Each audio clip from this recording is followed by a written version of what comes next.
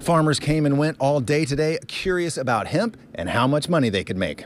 You know, when something new comes to town, they want to know what it is. Barry Graves was one of many farmers who came to Sunstrand's Milton processing facility to learn more about how to grow hemp. The labor costs, uh, time consuming, uh, and making more money.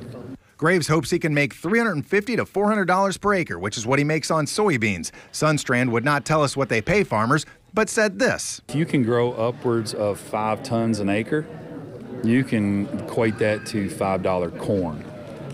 And for a farmer, we haven't seen five dollar corn prices in a long time, and those were those were the glory days of farming. Sunstrand courted the farmers with food and the promise of free seed. We are in expansion mode from here on out, from the demand side of it, because we have a challenge to meet the, with the supply side of our side. So.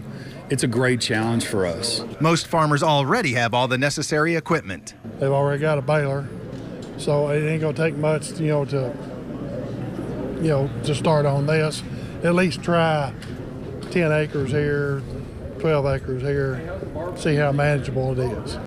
Now, if you want to grow for Sunstrand, you're growing it for fiber, just like these bales right here. We're told that if you want to grow it for the medicinal CBD oil, that is a whole nother business.